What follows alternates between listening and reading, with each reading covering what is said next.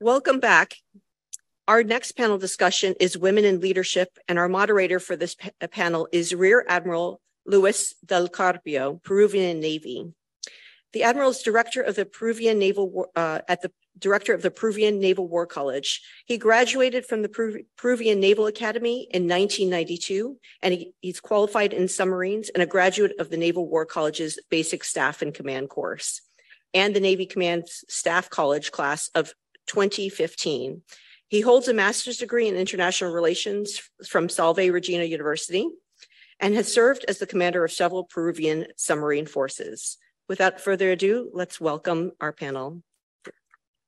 Yeah, thank you very much for for your, the presentation, and also it's a pleasure to be here back in Newport. Thank you for the kindly invitation, Admiral Chatfield and Dr. Saira Yamin. So we we are here together to talk about women in leadership.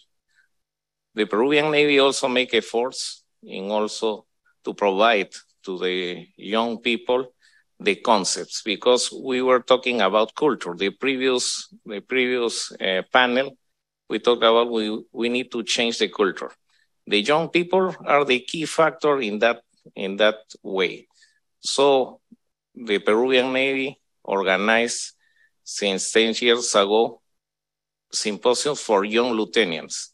The last year we hosted in Lima the Young Woman Symposium for young lieutenants. We invite uh, two lieutenants from each country from America, including including two from Germany and Italy last year. And I had the privilege to have as a speaker Dr. Saira Yamin and Major General O'Brien. So thank you very much for your support. This year we are here and I had the pleasure to have in this panel wonderful ladies that they achieve the most rank in their our countries, but not also for make a big contribution for their own armed forces, but also to provide security for the entire world. I think that this is the, the key factor to understand. The previous panel also talked about leadership and mentorship. It's very important to have uh, mentors in our careers. That is the reason that we have master chiefs that maintain the culture inside the ship, inside the Navy. Also, we as young officers began to follow path and follow mentors. So we don't have in Peru female admirals, not yet. The, our most rank is right now commanders, and that is the reason that every female symposium we we search around the world some leaders to change, to exchange experiences in our symposium. So that is the reason that, for example, in the past we had Admiral Nora Tyson. She was in Lima sharing the, the experiences and all the challenges that she had in the past.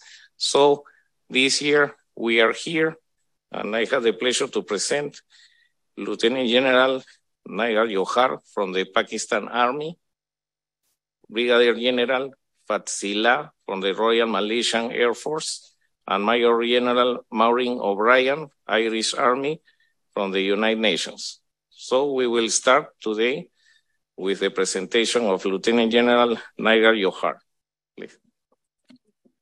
Thank you very much, uh, Madam President, faculty, students, ladies and gentlemen. Assalamu alaikum and good morning. I feel honored and privileged to be standing here today and sitting here today in front of such august audience and uh, uh, for this uh, WPS that you have organized. And so my gratitude is to the to Madam President, to the chair, and to all the organizers for having us here. So um, I have to uh, do justice with the huge topics of my story, my experiences, my impact, and my perspective on WPS in a very short time. So I'll try to do that. Uh, my story is a story of struggles and hard work. And it was both on the personal and the professional uh, fronts, uh, but it was well rewarded. I was born in a village uh, in a traditional Pathan Yusufzai family. And my uh, problems and struggles started at the very start when I was trying to convince my affectionate but uh, overprotective father to join what he said was the hardships of medical education and military career. So that is how I started. And but uh, with the with time, uh, things better. But on the personal front, I did had hardships, and that started with the soon that I lost my hero, my father, and the unsung hero of my family, my mother and two sisters in a road traffic accident. And after that, the gap was partially filled by my supporting and caring husband. But later in the years, I lost him too. But my work that gave me strength and kept me going. So I worked and worked hard, and that is how I, I am here. So the, the, with passion and with consistent hard work, I proved myself to cross the unseen barrier and the hurdles of the, the profession. And I grew in ranks, attaining many first female roles, including the first female commanding officer of a military unit in 75 years of establishment of my country.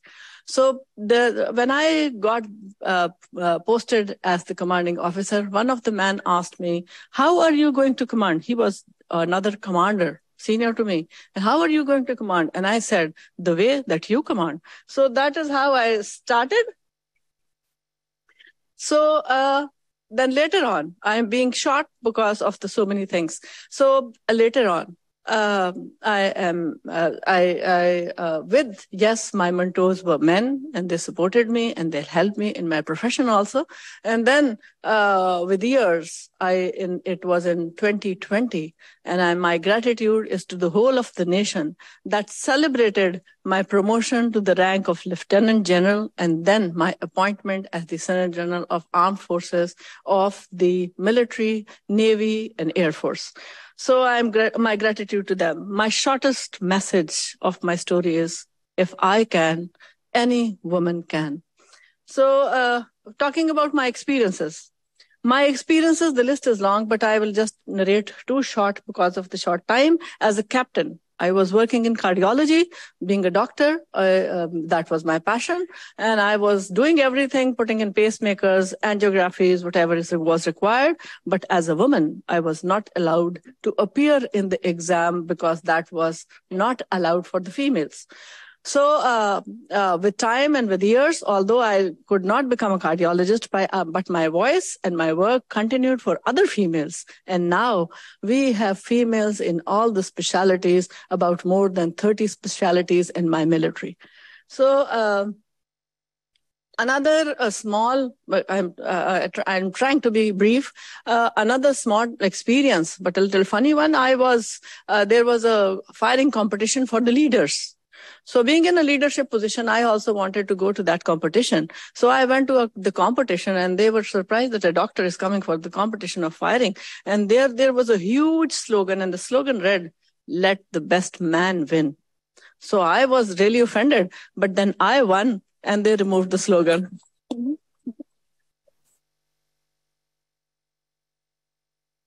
the list of impacts, if I talk of, is exhaustive.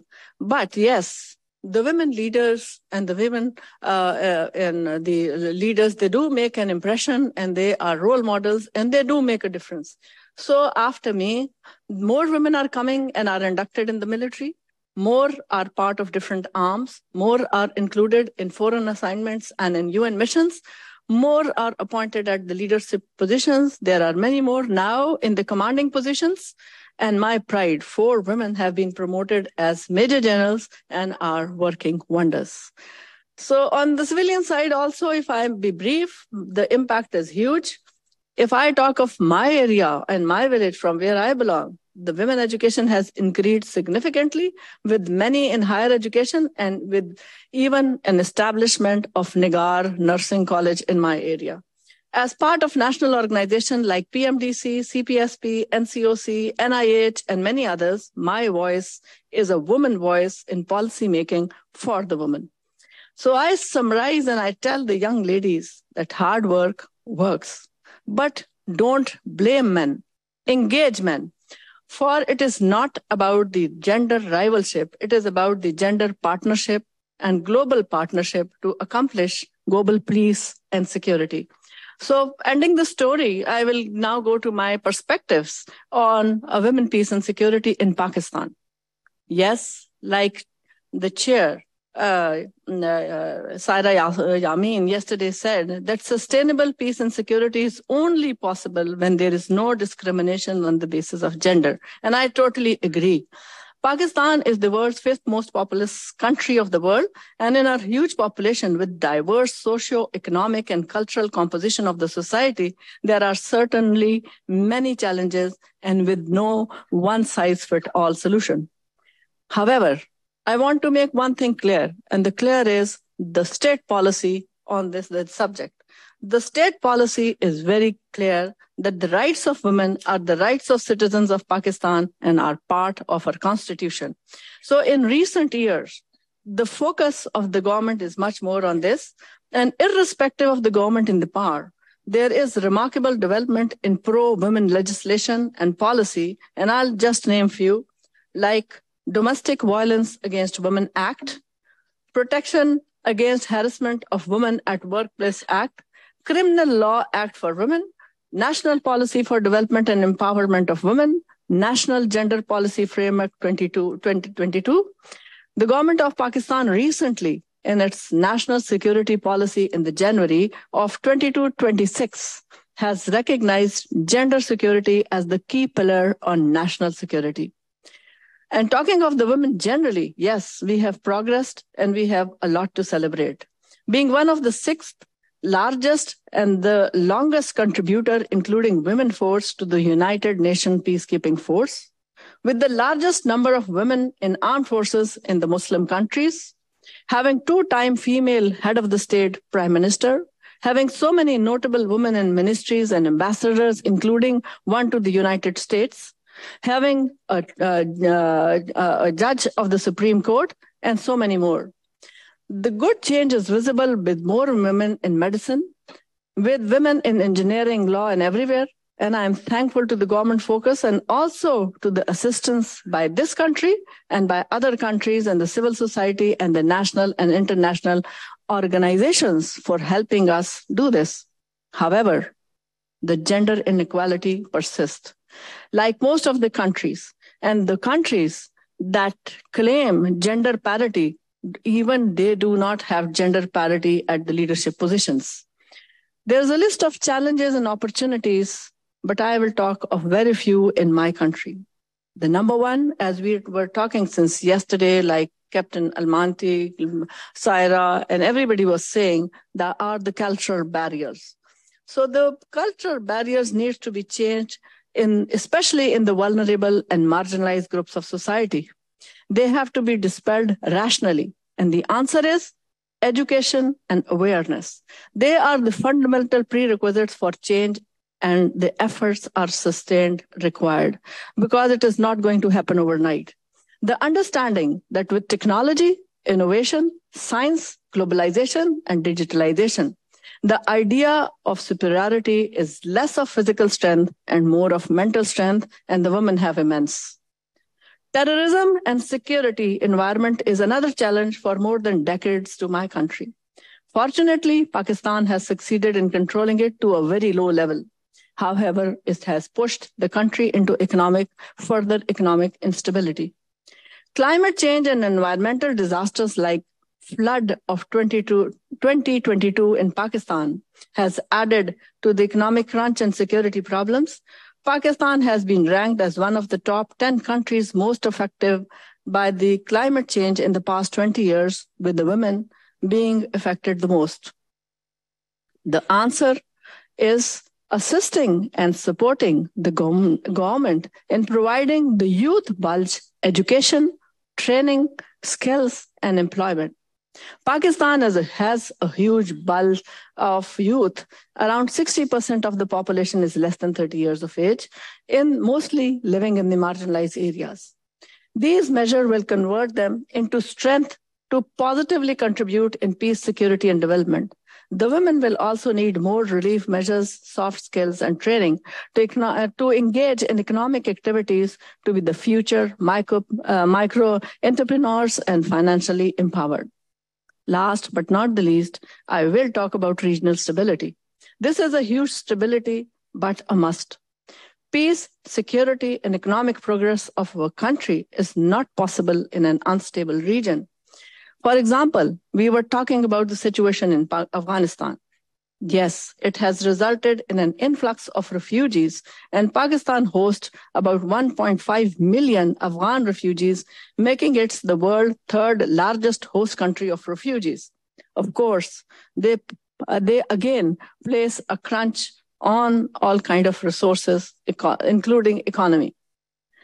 Pakistan and other South uh, countries of South Asia, including Afghanistan, Bangladesh, India, Sri Lanka, Nepal's women are more or less facing similar challenges.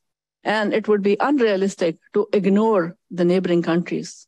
I, a woman, ask for regional peace. We need to join hands regionally and internationally with the policy focus on women's role and decision making in health, education, economics, politics for peace and security. I would conclude it is about gender parity with gender partnership and global partnership for sustained peace and security. And I'm hopeful that such conferences and new initiatives will lead to positive outcomes on the world's women, peace, and security. So once again, my gratitude to the organizer, to the Saira, to Madam President, to all of you for listening to me. Thank you very much.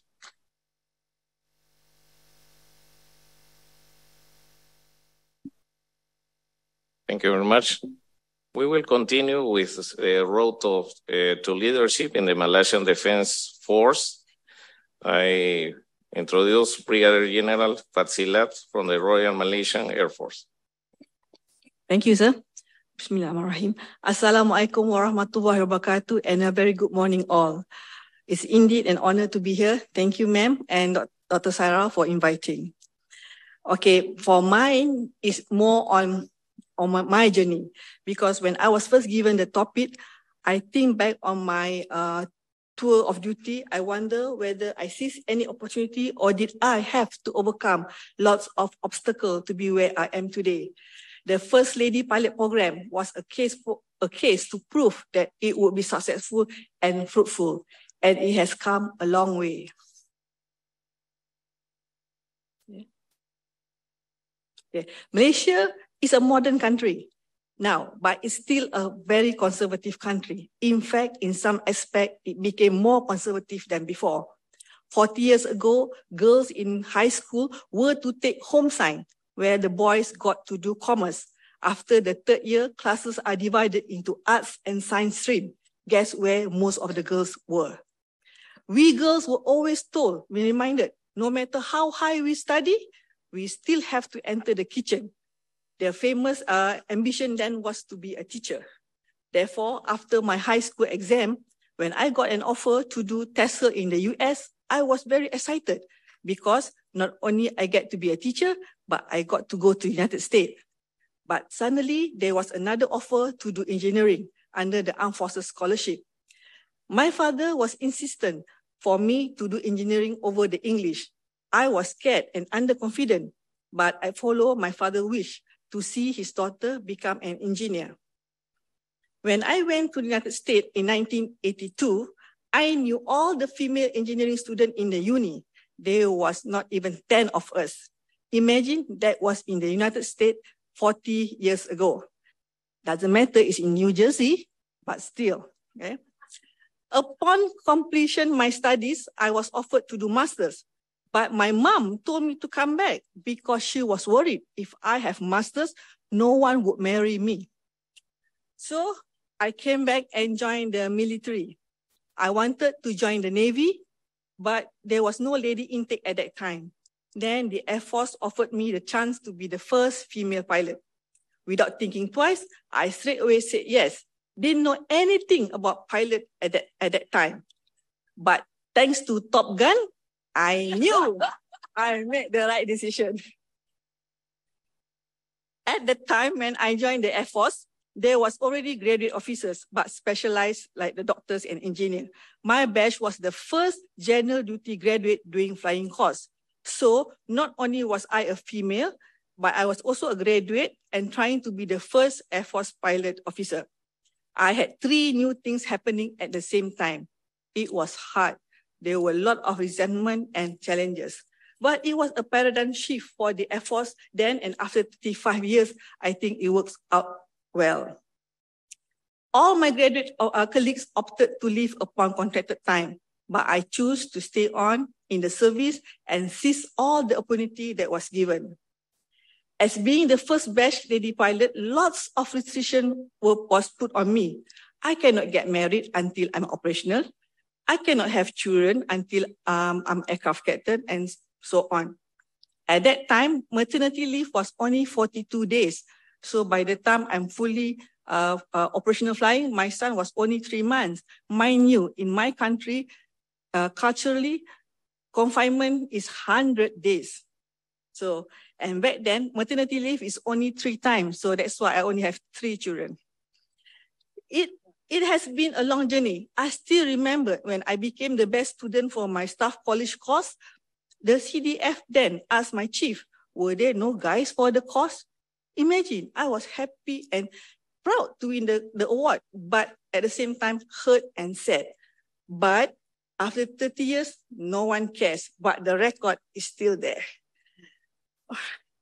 Both of my one year courses in Australia and Canada, I went alone without my family. For Australia, at that time, my youngest was only one years old, and my second son was recovering from a major operation. But I choose to go so I commit myself and I'm proud to say that I did well. I miss them, but I know I had good support back home.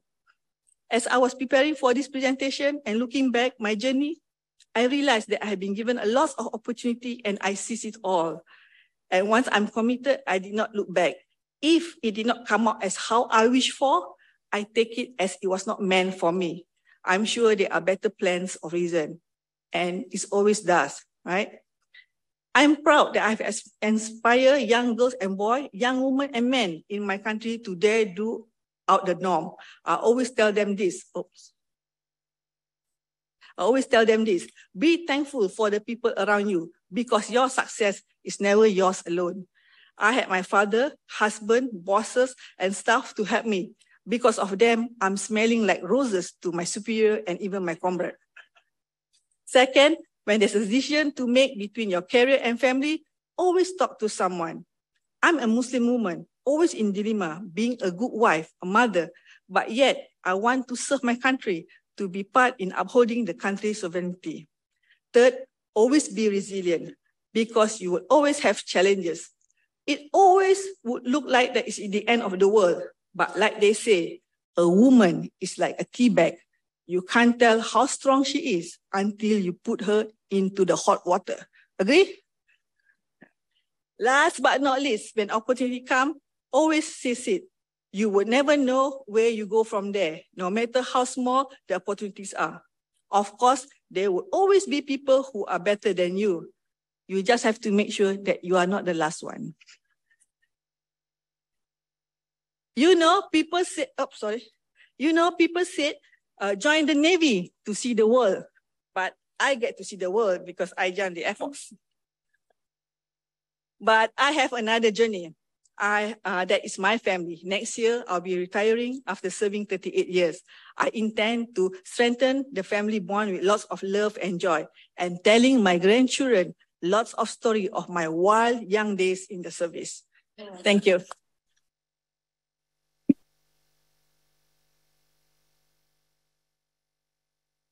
Thank you very much. So we will continue with the women's leadership in United Nations missions with Major General Maureen O'Brien from the Irish Army. Um, good morning, everybody, Admiral and um, ladies and gentlemen. How do you follow those? Um, I'm going to sc scrap my speech. I want to do something more entertaining. Um, I joined the Irish Defence Force in 1981. Um, and the reason I did that is because when I left school, uh, there were no women allowed into the Defence Forces. So I went to university, got a science degree, and then a postgraduate um, diploma in teaching. In fact, I started teaching for three months while I was waiting to hear about my cadetship. Um, so I eventually got the cadetship, and um, but they said they keep the teaching job open for me for a year. I'm still thinking about it. 42 years later. So um, I started off as a cadet. At that stage, we were the second class that was what we call integrated. So men and women together, six men, 43 men, uh, six women, 43, yeah. Um, and still just two have passed away, one man, one woman. Still my best friends and my worst friends, if you know what I mean. You do anything for them. You don't have to love them though. Not all of them. But especially the women have, uh, the six of us have kept very, very tight. And they have been my support, along with my parents, who said nothing when I said I wanted to join the, the army. I had no idea what the army was about. I knew there was a barracks in the town that I came from. I didn't know the rank structure. I just thought it was going to be a great idea. I was physically fit. I thought it was going to be running and jumping, and uh, yeah, no idea. And it was just that enthusiasm to find out what was next that kept me going. And nobody could tell me, you can't do it. Because when I said I wanted to do it, I would do it. And I would question anybody who stood in my way. And that's what I had to do at the very start. I actually had to question everything. Why wasn't I allowed to train recruits? Well, my daughter, I wouldn't allow her to do it. I said, Your daughter, sir, is a civvy. I'm a military trained person. So it happened in the end. So it was all about questioning. And, you know, we talk about the sacrifices we made. We've made many sacrifices and they don't go without some impact on you over time. So fast forward, I then, uh, one of the main purposes of the Irish Defence Forces to take part in UN operations. My first UN mission was as platoon commander in Lebanon in UNIFIL. I went on to serve there three times. One as a, um, a captain, uh, no, a lieutenant, then as a lieutenant colonel, and again um, as a major, and then a lieutenant colonel. We call it commandant. I then went. They were at different times. I served in uh, Western Sahara as an observer. Um, I went to UNTAET, which is um, East Timor, Timor Leste, um, um, with, the, uh, with the Australian Brigade um, as an operations officer. I went as a deputy battalion commander of the Irish Battalion to Chad, and then finally went to um, the Syria, the Golan Heights, um, in 2019 as what was then the deputy force commander, but for many, many reasons, including COVID, I was the acting force commander for 11 of those 18 months. I haven't been home since 2019 because I then had an interview to take up the job that I am in at the moment, which is the deputy military advisor in the Office of Military Affairs the military advisor is to the Undersecretary General for Peace Operations, USA uh, Jean-Pierre Lacroix. This has been extremely challenging, but I'll tell you about OMA, who is responsible, the office is responsible for, um, for, for force generation, planning missions, intelligence gathering, so-called peacekeeping intelligence, um, with a hundred people, with a uh, five-star general in charge, a wonderful man from Senegal, a pilot. Won't hold that against him. As an infantry officer, I can't afford to. Um, and I was the first female of the three generals that are there. And it was about time. Because frankly, we are we are the people who came up with the UN Resolution 132 if we want to increase the number of peace, women in peace operations. So therefore, where, how, does, how do we show that at our UN headquarters? Today, we had 21% women, which is extraordinary, from 42 different nationalities, all regions equally uh, represented. It makes for great fun when we talk about our different cultures, but ultimately, I'm still ma'am, I'm still the general, and I still have to do the work. I realize I'm a, um, a role model um, but as I said, I don't get paid to do that. I get paid to do my real work, and that's what I do. Um, I think being a woman in the in the forces is important to be seen, because if you can't see it, you can't be it. That's how I see it, right? Um, and I know that kids who, when it was announced that I was going to the, to the UN, it was celebrated more than I celebrated at home. And um, kids were encouraged by that, which I thought was absolutely wonderful. Because, as I said, when I joined, I had nobody as a mentor, no female anywhere as a mentor. Um, so I had to rely on my strength, and you build on your strengths. Your uh, disappointments make you stronger, and you get determined um, not to let um, defeat get in the way. You keep moving forward. Um, I have always been an advocate of trying to have women in every field in the defence forces, and I'm same with the UN as well. Um, I I follow what we do in terms of nations ensuring that they are represented by women as well. Is yes, a lot of people, a lot of troop contributing countries tell us it's not in our culture. And sorry, it is in your culture because you took, you actually were part of the UN resolution 1325 25 years ago, 23 years ago. So yes, it's a law. You must, must oblige us. So um, what we do to make TCs do it is that um, we, first of all we insist we embarrass them if they don't do it by telling them they don't have it and when their permanent representatives their diplomats um, are meeting USG Lacroix I'm not a diplomat so I can say what I know which is you have very few women represented in your forces and that kind of embarrassment does work sometimes. Um, also what we do is the TCCs on the ground, um, the staff officers their staff officers are 75% must be representative of the TCCs that are on the ground. And if they don't have female, we, females, we cut down the numbers of their staff officers. That hurts. That really hurts. Um, in OMA, what we're doing at the moment, we have two campaigns, um, normally two campaigns for the appointments that we have. We serve as seconded officers for two years, up to three and four um, in exceptional circumstances. And what we do now is we'll see so many, so many nations will say for one job, give us about 10 different or up to 20 different nominations. They don't even do the, you know, the fact checking or give us, or give us their priority. So what we've said now is yes, you can put in as many names as you like, um, provided 25% are women, qualified women. So it ultimately ne- means that we have less work this year because we know that many of those troop contributing countries will only be able to put three names forward if they don't have a suitably qualified woman. And the crying and the we can't do it. Y- yes, you can and you must.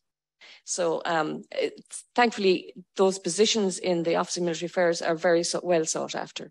So I think it will change culture. Will it actually make a difference? I think it will, because if they want to have more people considered, it means they have to train the females in, um, you know, do the normal training.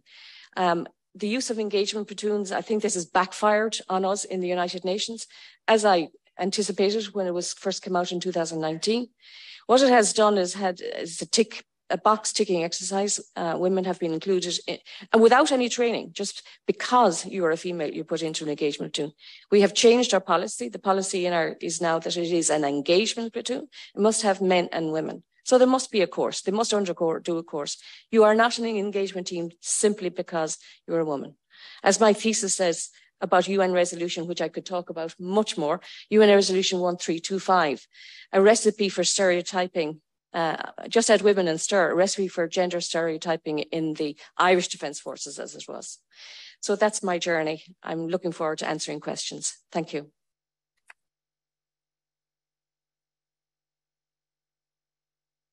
Thank you very much.